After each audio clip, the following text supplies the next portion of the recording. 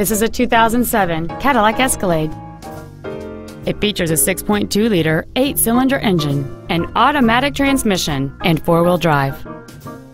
Its top features include power-adjustable driver pedals, a heated steering wheel, leather seats, cruise control, and steering wheel mounted controls, a DVD player, a premium audio system, a low tire pressure indicator, traction control and stability control systems, and this automobile's stylish design always looks great.